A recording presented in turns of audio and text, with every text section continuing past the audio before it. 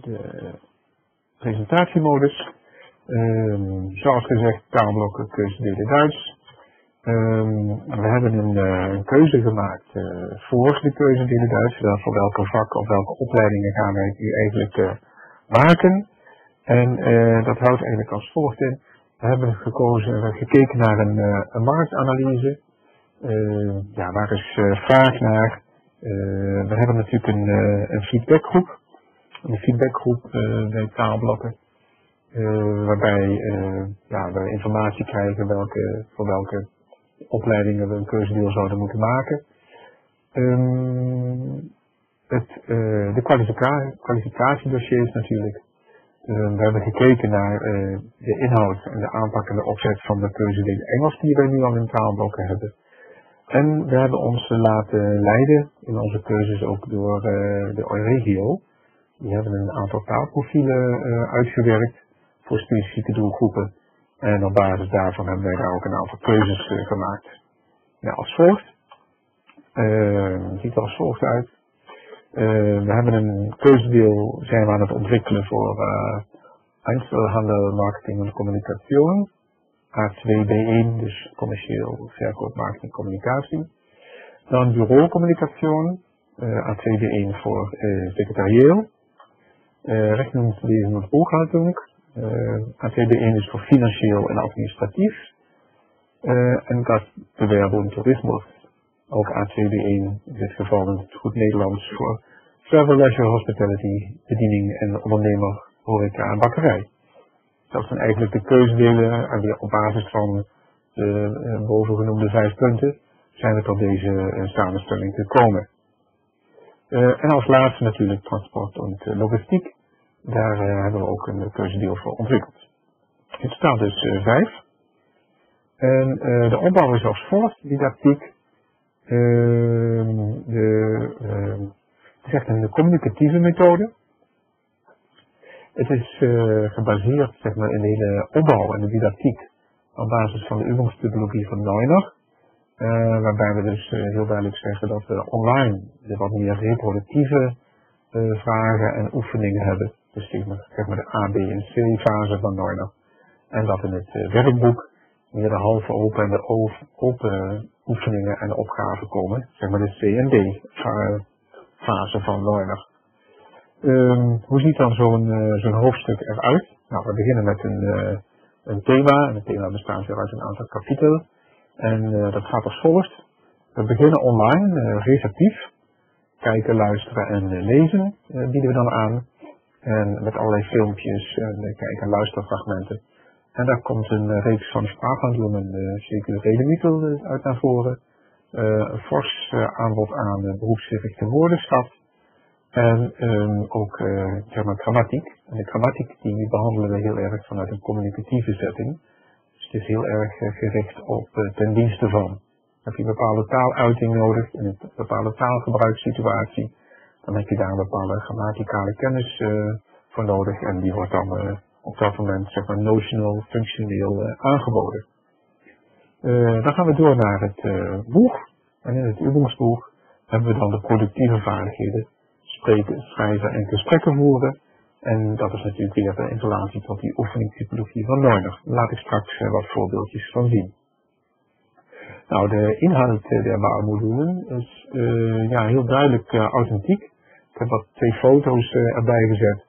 We zijn naar Duitsland geweest, een aantal locaties bezocht, hotels, restaurants, in dit geval op twee fotootjes, cafés, bakkertjes.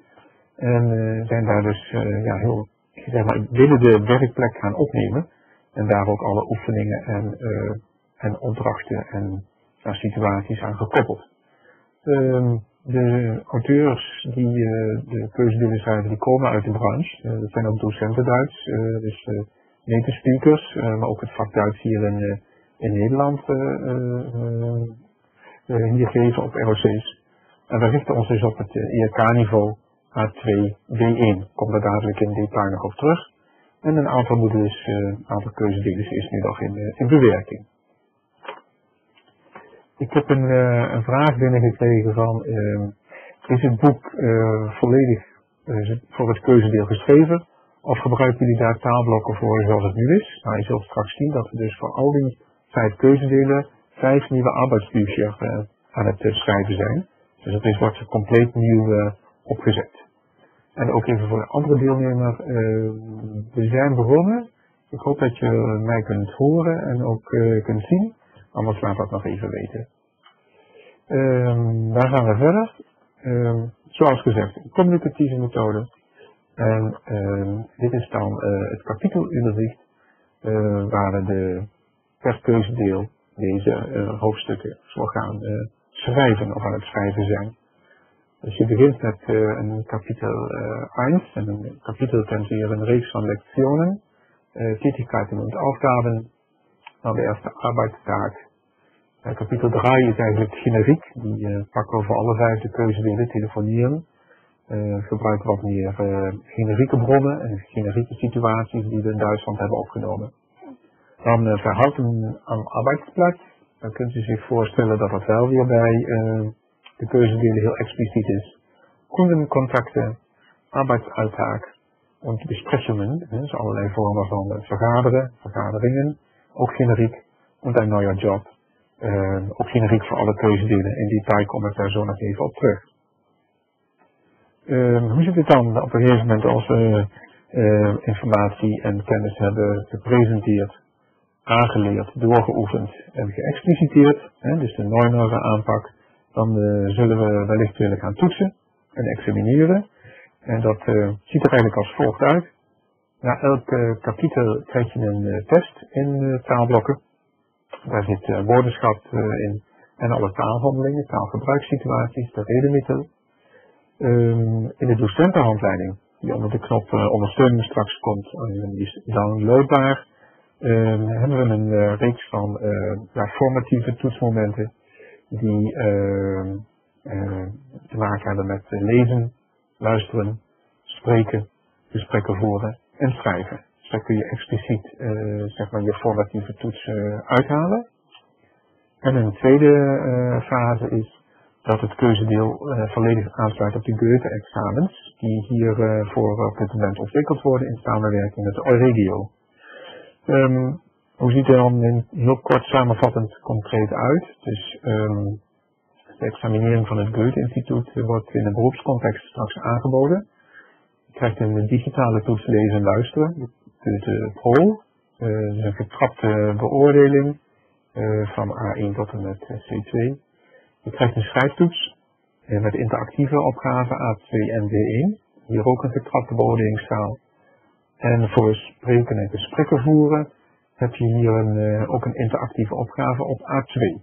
De productieve vaardigheden op D1 en ook hier een uh, getrapte beoordelingsschaal. Um, onze keuzedelen die zijn besproken met de werkgroep. Dat ligt bekend bij jullie de namen Lambertering en Kies van Eunen. En uh, zij hebben aangegeven dat deze goed voorbereiden op die Goethe-examens. Dus um, er is ook een vraag van, is er een verbinding met een mogelijk certificaat voor Goethe na het behalen met deze toetsen? Ja, concreet, wij, leiden eigenlijk op met taalblokken Duits. Uh, we formeren met formatieve toetsen. En wil je dan, uh, zeg maar, uh, ja, expliciet nog een, een, summatieve benadering, dan ga je dat doen bij, bij het Goethe-instituut. Dat betekent eigenlijk dat het dus aan de scholen zelf is om hier aan mee te doen. Dat is niet verplicht. Uh, maar als je het binnen de school zelf wil houden als summatieve toetsing, dan, ja, dan bouw je dat zelf. En dien je dat in bij de vaststellingscommissie van de school. maar zeg je van oké, okay, wij maken toch gebruik van de examens van Goethe. ja, dan hebben wij er maar, in onze ontwikkeling voor gezorgd van de methode. dat die goed aansluiten en goed voorbereiden op die examens. Een andere vraag is uh, de toetsing door de inspectie vastgesteld. Ja, heel concreet, uh, een leermiddelenmaker of een leverancier die, uh, die doet dat niet, die mag dat ook niet. Je kunt dus als leermiddelenmaker niet zeggen dat je toetsen inspectieproof zijn, want dat ligt heel expliciet bij de school. De school stelt iets samen, een toets, die dient die in bij de vaststellingscommissie van de school. En de vaststellingscommissie zegt of de toetsen worden goedgekeurd. Uh, datzelfde ook geldt bij de Goethe-examens. Dus in dit geval Malmberg of taalblokken keuze binnen Duits kan nooit zeggen dat de toetsen door de inspectie zijn uh, goedgekeurd omdat dat niet aan ons is, maar aan de school in relatie tot de vaststellingscommissie van de school, CQ de inspectie. En waar wij voor moeten zorgen is dat het voldoet aan alle kaders, aan alle inhouden, en dat is de borging vanuit onze kant. Dat ik even als vraag van een docent hier net in de chat. Nou, hoe zit het dan met de boturen? En de boturen. Ik had uitgebreid verhaal. Um, Tableke Duits is geschreven voor een boturen, of een, zeg maar een keuzendeel van 240 studiebelastingsuren. Nou, er zijn wat mogelijkheden. Um, je zou bijvoorbeeld kunnen zeggen dat er uh, 160 uur uh, onbegeleid en 80 boturen begeleid kunnen zijn. Of 120 of 120. Um, we zien daar bij Engels op dit moment in Nederland best wel wat verschillen. maar onderzoek leert eigenlijk dat een boturennorm voor de keuzedelen men zo rond de 80 tot 100 uur gaat hanteren. Dus heel concreet, je begeleide uren zullen ergens tussen de 80 en 100 uur zijn en de onbegeleide uren zullen, zullen daarboven zitten. We merken ook eh, bij de keuzedelen Engels dat een deel van de DPV-uren daar eh, aan besteed worden. Nou, concreet dan voor het taalvak Duits kan volgend gelden. Uh, de online lessen, je taalhandelingen, je woordenschat, je grammatiek, die zou je eerder in de onbegeleide uren kunnen doen. En vooral met name je gesprek- en schrijfopdrachten, die doe je op school, of in ieder geval in de begeleide uren. En dat zijn die C en D uh, oefeningen en opdrachten in het uh, arbeidsboek. want daar ben je als docent natuurlijk ook uh, bij nodig. Daar ben je met interactieve activiteiten nodig bezig. En daar heeft de student of de groepje studenten hebben jou als docent daar goed bij, bij nodig. Dus praktijk leert nu, ook bij Engels, maar zo hebben we dat ook geschreven voor onze keuzedelen Duits, is dat je zegt, nou, zo'n 144 uur onbegeleid en zo'n 96 uur begeleid. En dan uh, heb je een mooie verdeling in, de, in het aanbod van de keusdeel.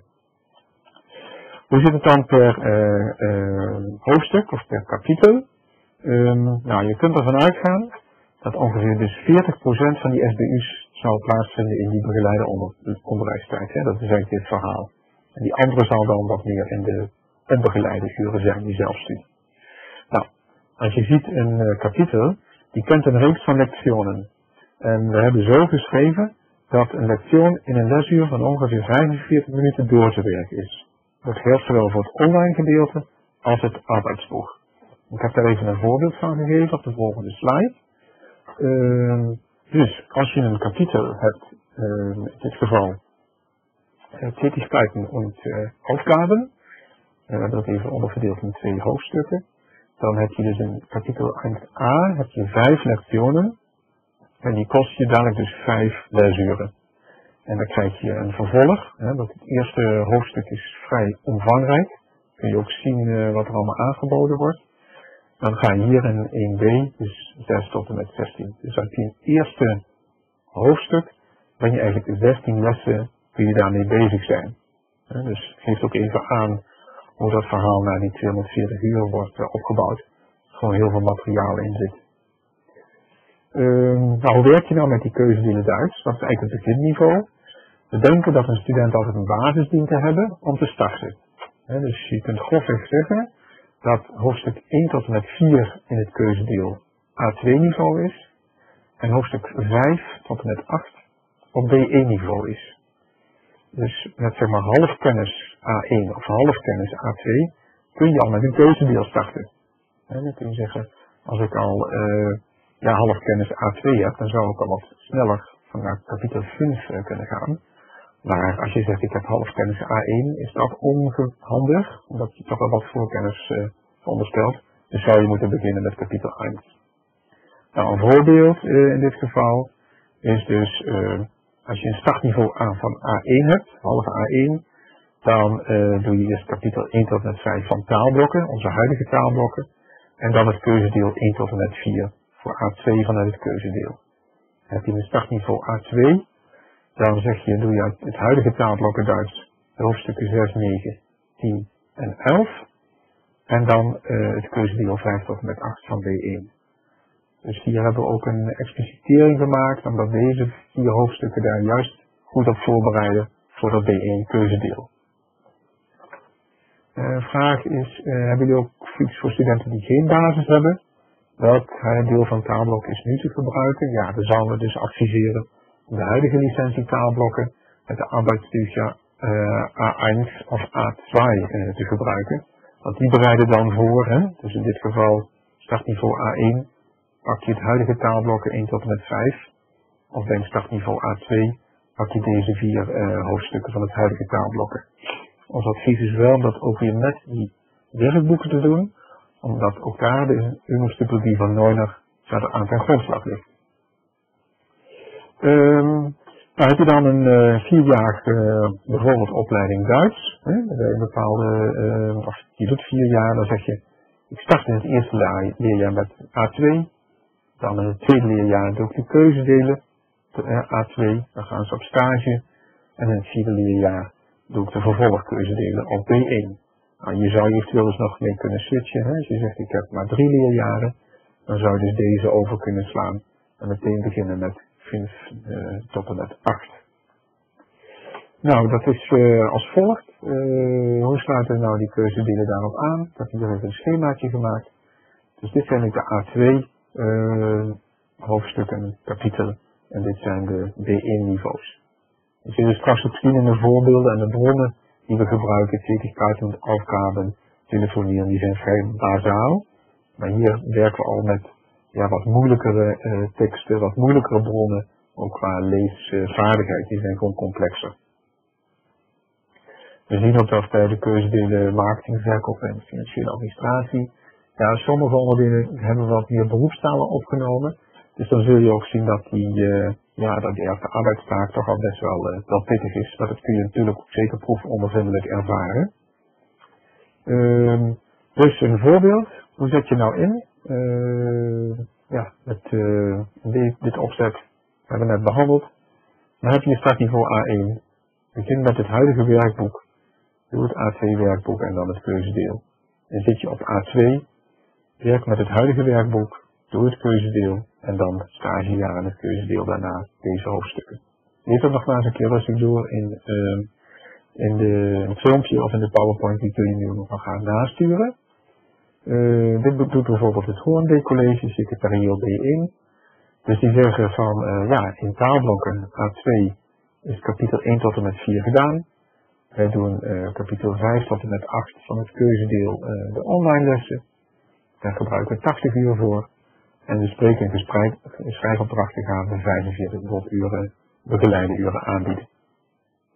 Dus we starten met het huidige materiaal en schieten dan door uh, voor B1 naar het keuzedeel hoofdstuk 5. Ga daar meteen een stapje verder dieper in. Nou, uh, eventjes nog uh, in de breedte. Dus het lesmateriaal is al ontwikkeld als keuzedeel. Maar we merken ook in de gesprekken dat sommige docenten zeggen en sommige ROC's we gaan dat gewoon als, uh, als methode zetten in de gewone talen in Duits die wij aanbieden. Doe niet eens een keuzedeel, we bieden gewoon Duits aan en we gebruiken dit keuzedeel. Nou, hoe ziet het uh, leerwerk eruit? Hè? Bestandteilen. Dus uh, online heb je een, het digitale gedeelte. Dan heb je het arbeidsboek, of het Übungsboek, mag je ook zo noemen. Dat is als uh, hardcopy, kun je gewoon op de boekenlijst zetten, maar dat hangt ook als gratis download in de lerarenhandleiding. En je hebt een lerarenhandleiding, die hangt ook als gratis download in het lerarengedeelte. Nou, dan kun je wat keuzes maken als uh, team, als school. Je zegt van nou, ik doe gewoon een taalblok, een studentenlicentie. Daar zit alles online in. Dus uh, dat is de complete licentie A1 tot en met B2. Um, en daar heb je ja, er zitten de keuzedelen gewoon zeg maar gratis bij. Um, daar kan de student dan eventueel een, eh, een boek bij aanschaffen, dat kost dan 8,50. Of de docent gaat dat in het leraargedeelte uh, ja, downloaden of printen, is ook mogelijk. Je kunt er ook voor kiezen als je een, uh, een andere methode gebruikt en je wil alleen het keuzedeel Duits gebruiken online. Dat je zegt ik doe alleen een keuzedeel online en het arbeidsboek of het boeksboek. Dat kost dan 27,50. Zoals zit met de verschijningsdata. Uh, deze zomervakantie zullen we deze drie uh, klaar hebben. Einzelhandel, Marketing en Communication, Bureaucommunication, Gastbewerber en Tourismus. En in januari 2018 dan uh, zullen we klaar hebben logistiek even een boekhouding. Dat is ongeveer de planning. Dus het is altijd lastig met uitgeven of je dat precies gaat halen of soms al wel eerder klaar bent. Maar hou dit als uh, richtdata uh, aan. Even kijken, nog een vraag. Um, hebben jullie een overeenkomst met Van Dijk voor inkoopmaterialen? nee, is daar concreet het antwoord voor. de school doet iets met Van Dijk, die heeft daar overeenkomsten voor wat betreft een inkoop. Dus dit zijn zeg maar de prijzen die wij als uitgever in de catalogus hebben staan. En ja, voor de rest is het verder aan jullie, omdat je schoolboekleverancier daar verder in de inkoop mee uh, de discussie aan te gaan. Dus even concreet hier het schemaatje. Je hebt een docentenlicentie. Die heb je nodig als docent om de toetsen en het leerresultaten te volgen. Dan heb je dus hier je studentenmateriaal. Dit zet je dan op de boekenlijst. Ehm, een combi, combi eh, keuzedeel een van deze vijf. Um, eventueel dus uh, apart de werkboeken. Hè. Dus als je dit hebt, krijg je gewoon een boek en een studentenlicentie erbij. Hè. Dus dan boek plus studentenlicentie. Zeg je van nee, ik laat alleen een boek aanschaffen. Omdat ik al de studentenlicentie compleet vertaalblokken Duits aanschaf. Dan is dat die 40. En eventueel het boek erbij voor 8,50 euro. Um, een vraag is, als we willen bestellen, kunnen we dan vanuit gaan dat de studenten die in september starten met het keusdeel, dit ook kunnen bestellen in juni? Ja, dat kan, uh, want ik heb hier een screenshot van de uh, catalogus en die ligt nu ook bij de schoolboekleveranciers in de vraagstellingen in de chat, uh, dus ook bij Van Dijk. Dus wij kunnen dit nu eigenlijk al, al bestellen, geen probleem. Um, dit laat ik dadelijk nog even zien, de hoofdstukken, hoe die uh, zeg maar in detail er zijn. Ik laat jullie nu even wat van het online gedeelte zien en van het arbeidsboek. Um, en dat gaat als volgt. Ik ga even naar een webbrowser. En ik pak eerst even deze. Dit is uh, zoals onze taalblokken eruit ziet. En je ziet dat we hier het vak Duits hebben. En daar hebben wij een aantal functionaliteiten. En je ziet dat hier nu een nieuw tab is bijgekomen, beroepsgerichte keuzedelen. Daar klik ik even op en dan zul je dus zien dat hier onder de vijf, uh, voor jullie als docent, want ik zit er nu in als docent, uh, de vijf keuzedelen komen in die leerlijn uh, TT-kaart en afkamer. Heb je nu al een taalblokken Duits docentenlicentie, dan staat deze twee er dus nu al in. dus klik op je licentie Klik op lesmateriaal en dan zul je zien dat ze hier onder de knop uh, beroepsgerichte keuzedelen in dat de URL en toerisme erbij zit. Ik ga even naar onze ontwikkelpagina, daar staat meer op. Uh, dat is dit. Het lijkt er wel veel op, maar hier heb je dus de vier, nou, er komen er dus vijf keuzedelen.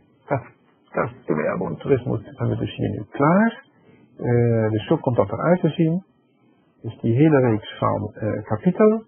En uh, ja, die kapitel. dus dit is een tätigkeit met afgaben. Ga ik nu openen. Dus ik ga even terug naar het verhaal van de kapitel. Dat even erbij pakken. Ehm,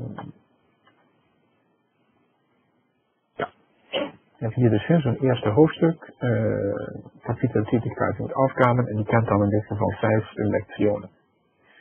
Nou, die zien we hier terug. Uh, Tourismus, Freizeit und Gastronomie, ein breites Feld. Wir lernen in diesem Kapitel die verschiedenen Arbeitsbereiche dieses Sektor kennen. Nou, Hotel, Reisbureau, uh, de kleine John van den Berg zou ik graag willen vragen om nergens aan te willen gaan zitten. Uh, want anders ben ik dadelijk mijn, mijn gegevens kwijt. Dus uh, gewoon uh, lekker meekijken. Bungalowparks en restaurants. En dat zijn dus deze vijf hoofdstukken bij 1a. Dus zich voorstellen, Aufgaben im Berufsfeld, Berufserfahrung, tägliche Arbeit und persönliche Voraussetzungen. Nou, beginnen met de les. Dan uh, begin ik even bij eentje dat de 30 schermen kent. Dus ik begin bij scherm 1. Daar krijg je een uh, stukje uitleg uh, wat het, dit hoofdstuk inhoudt. wat we gaan doen, wat we gaan aanleren. Um, en heb je begin met lektie 1, hè, zich voorstellen, dat is deze. Oké. Ik ga kijken of je een uh, die wordt uh, nu geïnterviewd. Kijken of jullie dat ook kunnen horen met jullie oortjes in.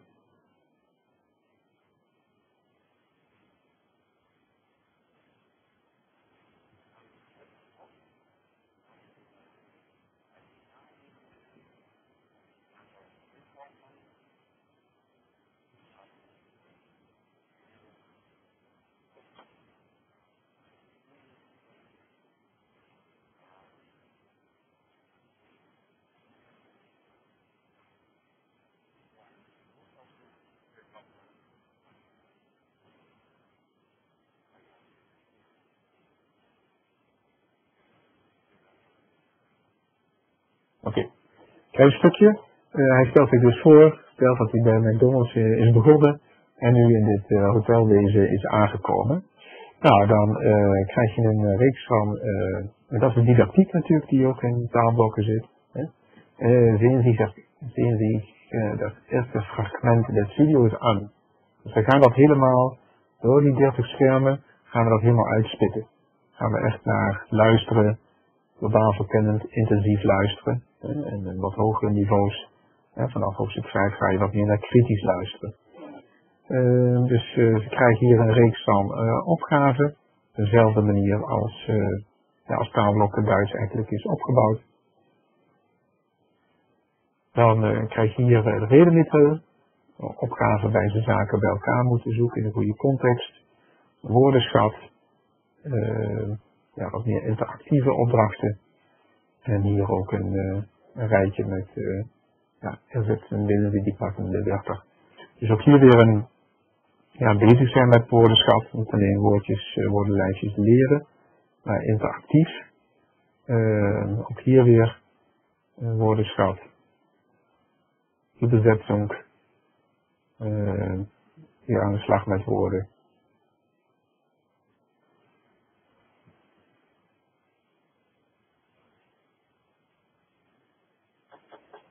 Grammatiek wordt hier uh, geëxpliciteerd en ook weer notional functional. Hè? Dus we zetten het echt in de, de context van uh, ja, de taalhandeling en de taaluitingen.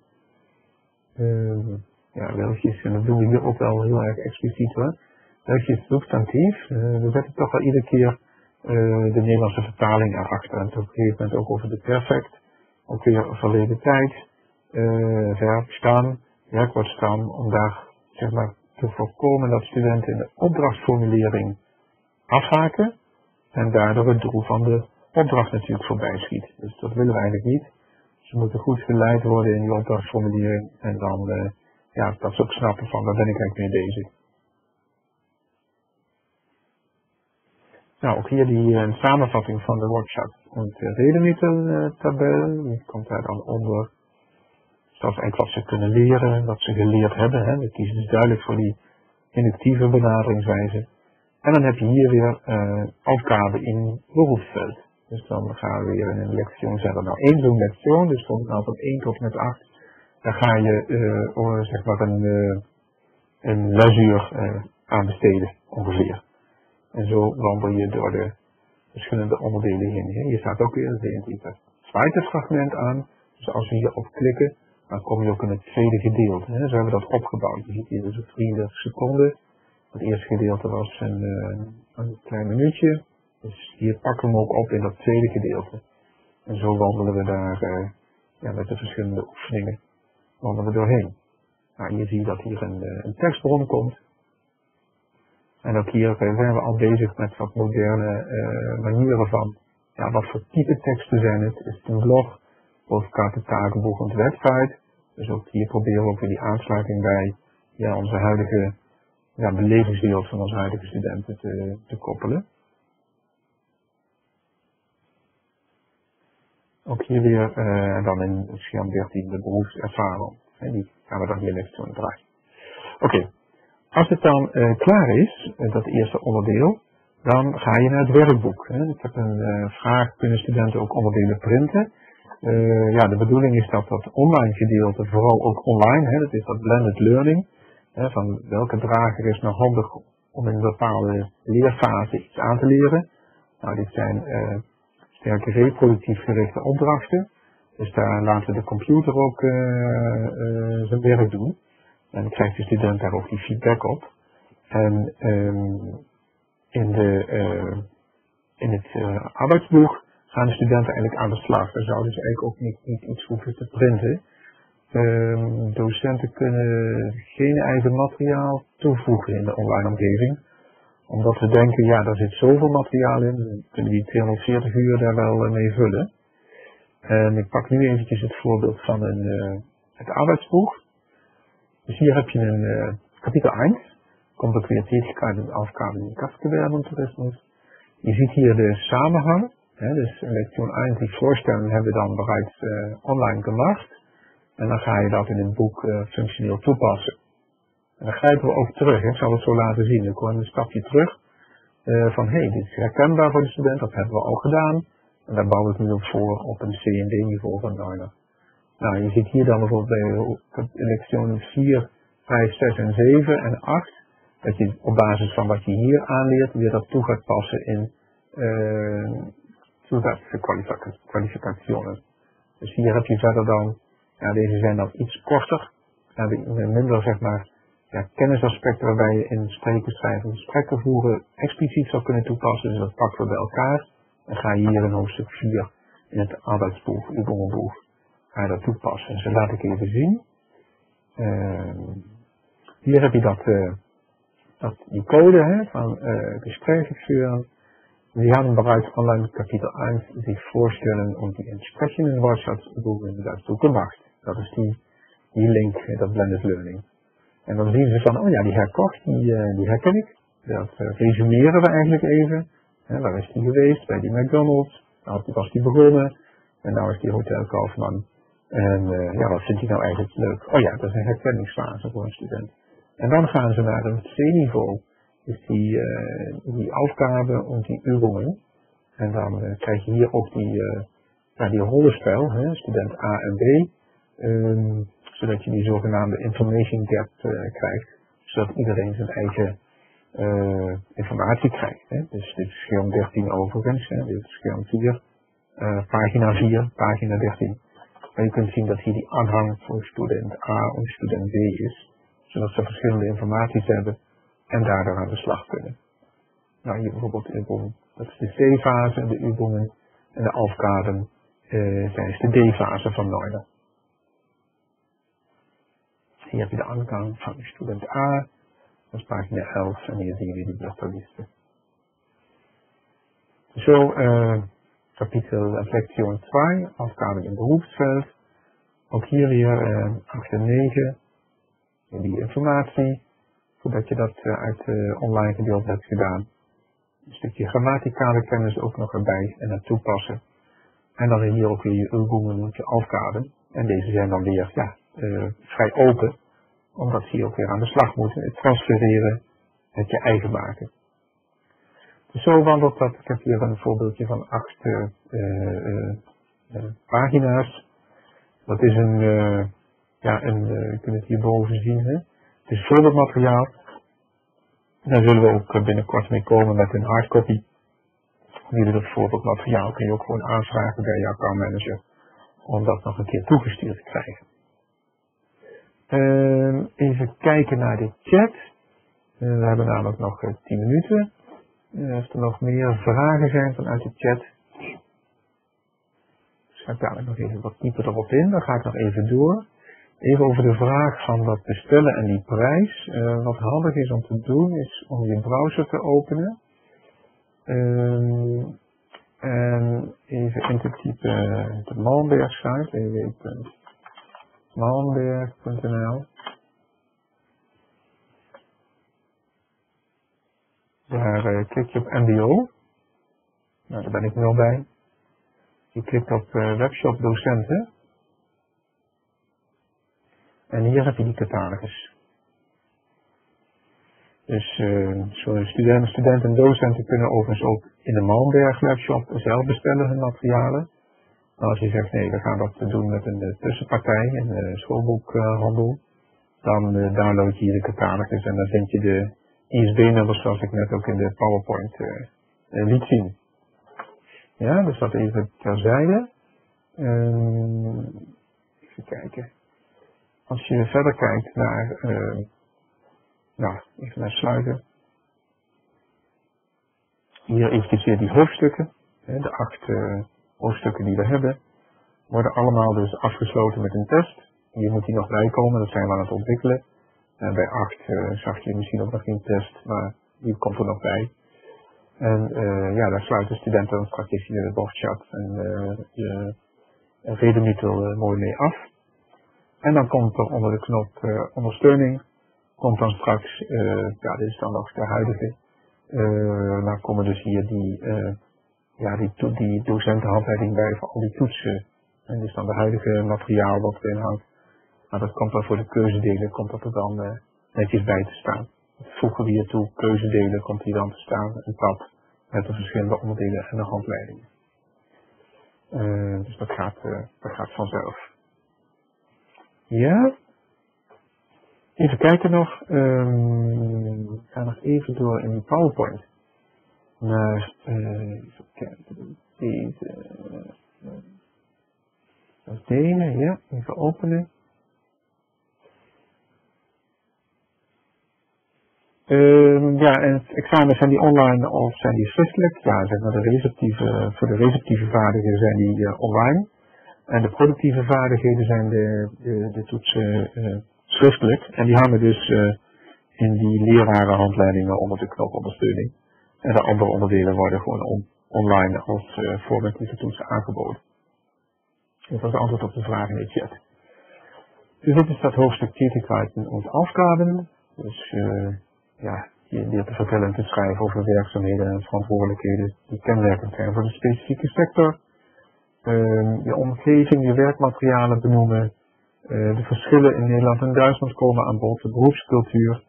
En je leert ook je eigen kennis en vaardigheden, je competenties beschrijven. Wat kun je, wat kun je wel, wat kun je nog niet. De eerste arbeidstaak, um, ja, rondleiding van, uh, ja, hoe zien je werkzaamheden nou eigenlijk uit als je dadelijk uh, secretaresse wordt of op de marketing, verkoopafdeling of binnen transport en logistiek zit. Je gaat kennis maken met je collega's, uh, je gaat participeren, je gaat vragen stellen, reageren, uh, nou, je gaat om met uh, werkregels, een stukje uh, personeel en organisatie, je huisregels, formulieren, uh, verlof. Tweede is, en die is dan eigenlijk generiek, uh, ja, de, eigenlijk bijna alles wat nodig is om te kunnen telefoneren in het zakelijke spectrum. Dus opnemen van de telefoon in de wacht zetten, netjes afscheid nemen, um, vragen, doorvragen, omgaan met stiltes, omgaan met weerstand, um, informatie vragen geven, naar prijzen vragen, uh, overleggen met, met collega's en afspraken regelen en bevestigen.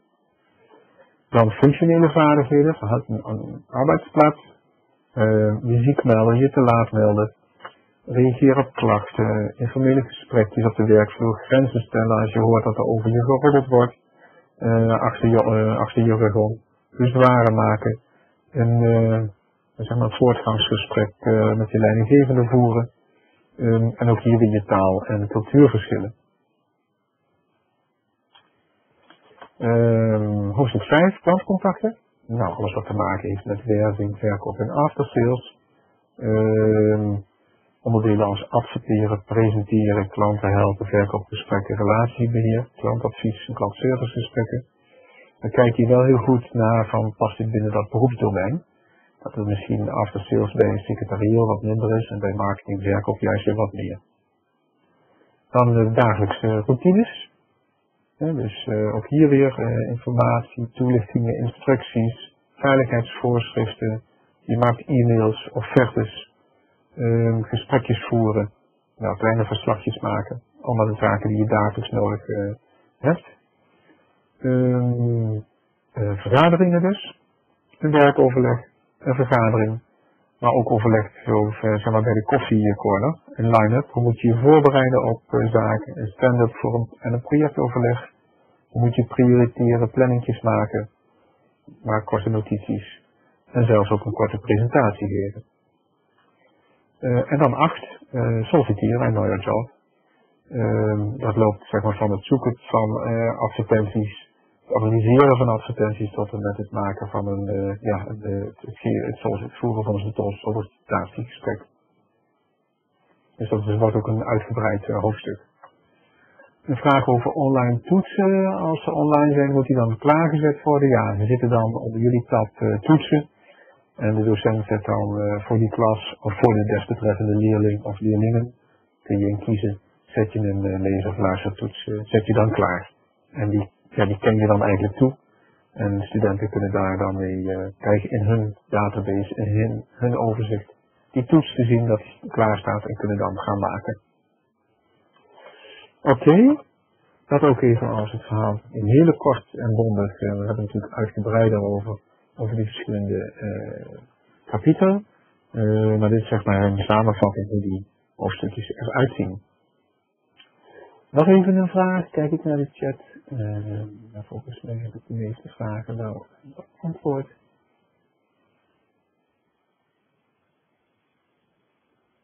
Ik wacht nog heel even als iemand een vraag stelt in de chat.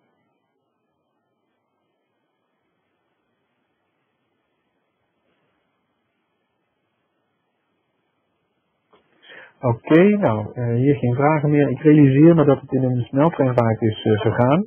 Dat is uh, het mooie van een webinar, maar ook wel weer de beperking. En je kunt snel veel te weten komen, maar ik kan me voorstellen dat je nog in detail wat, wat meer zou willen weten.